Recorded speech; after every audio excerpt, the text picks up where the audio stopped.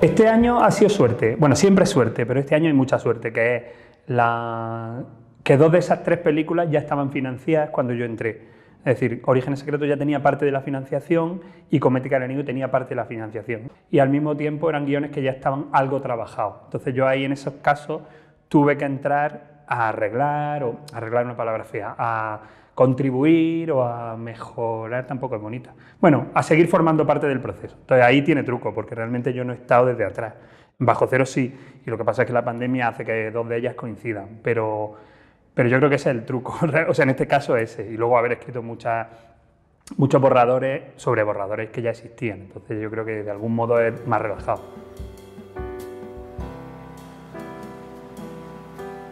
En general sí que intento no hacer nada que no sea escribir entre las 10 y la 1 o 1 y algo, y entre las 4 y las 7. O sea, esas 6 horas suelen ser sagradas.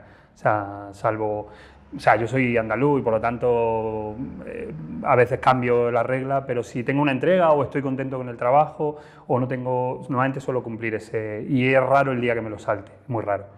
Eh, entonces sí, o sea, empiezo por la mañana después de, mm, de, desayunar y tal, empiezo a piñón y cada tanto me levanto un poco porque la vista no se canse, pero sí, tres horas y tres horas saco.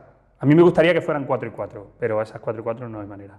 Mis guionistas favoritos son guionistas prolíficos ahora que ha muerto Carrier, eh, hoy he estado revisando por una cosa que igual escribo, he estado revisando, tenía 163 películas, es que son muchas pelis. Entonces a mí ese tipo de guionista que trabaja mucho, no por nada, ¿eh? no pienso que sea mejor ni peor, pero a veces se idealiza la distancia entre películas y a mí me gustan los guionistas, siempre me han gustado los guionistas prolíficos o los músicos prolíficos o los escritores prolíficos. O sea, me parece que es generoso o que por lo menos demuestra cierta disciplina. Me acuerdo de Carlos Pardo en Lejos de Cacania, en su novela un diálogo que, reproduce de su novia que le dice a la novia, a ver, si no vas a ganar por bueno, gana por pesado. Es decir, satura el mercado que alguna buena saldrá, ¿no? Entonces yo siempre he creído eso, que si, si no es por bueno, por lo menos por llenar, por trabajar mucho, alguna, un reloj da dos veces la hora, ¿no? reloj roto, o sea que...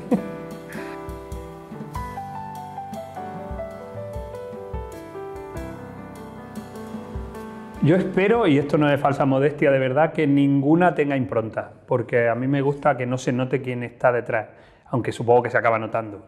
Entonces esperaría que no, porque así puedo trabajar más, así puedo seguir y aprender de muchas miradas. ¿no? Entonces espero que ninguna tenga impronta, aunque supongo que hay rasgos de defectos sobre todo, que son lo que nos define, los, los tics o los defectos, lo que más... Pero sí que al ser un guion adaptado de la novela del director que también confirma, es la película en la que menos yo, digamos, de gusto he podido aportar. Eh, creo que es una película a la que yo he contribuido a darle forma y me siento orgulloso de ella y me siento orgulloso del trabajo de David y de hecho la película es una película muy, con la que tengo mucha simpatía. O sea que la cosa va de frikis. Hemos pensado que para este caso en concreto cuentes con un asesor externo. ¡Aquí hay algo! Puedes llamarme Profesor Nova. Está intentando crear un superhéroe. ¡Los héroes no existen! Seguramente sea la peli, sí, de, estas tres, la menos personal, sí, personal se puede usar en guionista, que me parece, ya sabes que yo estoy un poco en contra de eso.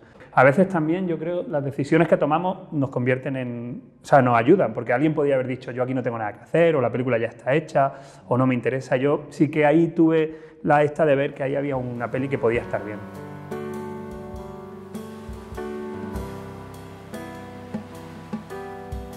En esa película yo creo, es una película muy difícil de... O sea, llevaba mucho tiempo intentando hacerse. Esa película ya se compraron los derechos para intentar hacerla en España, no se consiguió levantar, pero esos derechos consiguieron revertirse. Entonces, era una película que llevaba mucho tiempo intentando financiarse.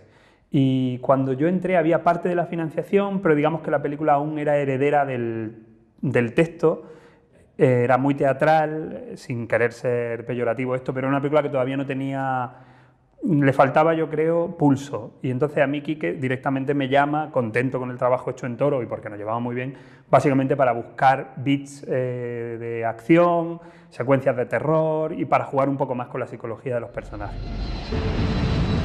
Hola, Jan. He tenido problemas de camino al aeropuerto y he perdido el vuelo. Detesto los aeropuertos. ¿Usted no? ¿Quién es usted? Soy Tess el texto. Te voy a pedir que cierres los ojos y visualices lo que estoy a punto de contarte con todo detalle. cuando yo recibí el primer material no era un yalo y yo creo que lo que más orgulloso estoy de ese trabajo es que la película parece un yalo. Es una película delirante, con giros delirantes, con algunas secuencias que parecen cine italiano de terror, que es mi vicio oculto, o no tan oculto ya. Fíjate que yo, por ejemplo, algunas decisiones que yo le dije aquí que, no saliera tanto la cámara fuera, curiosamente.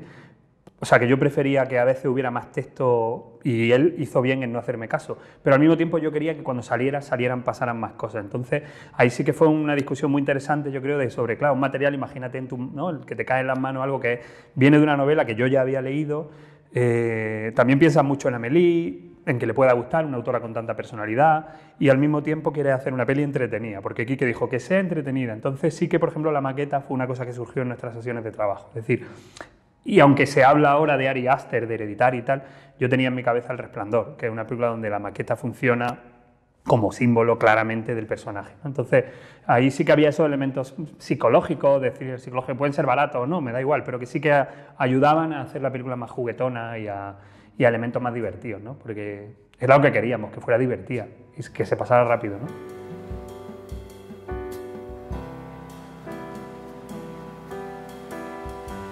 A mí la lógica no me interesa. O sea, no me, es que me da igual, porque yo quiero que las películas transcurran dentro de la película. O sea que, y de hecho sí que me gusta imaginarlas como sueños o como pesadillas. Entonces, que eso sí que puede ser algo que yo aporto a los guiones o que me gusta aportar. Es decir, vamos a olvidarnos de las reglas, de la realidad y vamos a poner una regla en esta peli y vamos a ser fieles a las reglas de esta película. Llevamos a seis con un coche patrulla de escolta. Martín, ¿qué cojones está pasando fuera?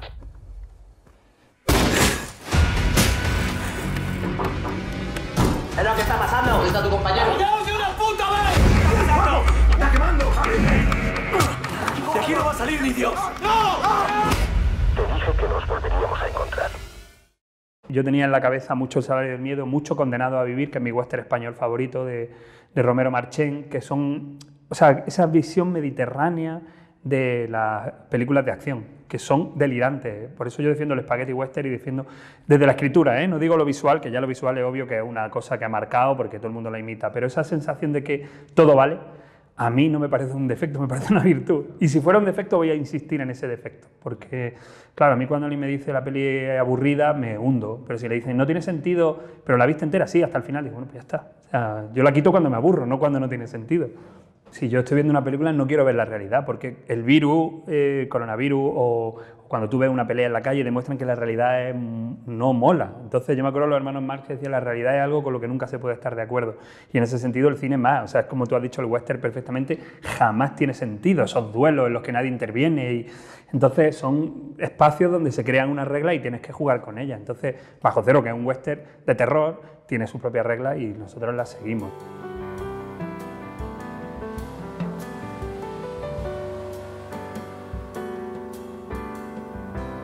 Ha hecho que algunos días no pueda escribir seis horas. O sea, porque ha habido un, una especie de feedback de la, pues, las llamadas del director mandándote datos, o, o, de los directores contentos, o alguna llamada inesperada, o algunas entrevistas que de repente los guionistas hoy, no sé cuándo va, o sea, cuándo usar esto, pero hoy he leído en, el, en un periódico de estos de internet que no se editan en papel, he leído, muere el dramaturgo Jean-Claude Carrier que o sea, cítame, me encantaría que, ese, que el, el, idiota que ha redactado esa noticia me dijera cuántas obras de teatro de Jean-Claude Carré ha visto.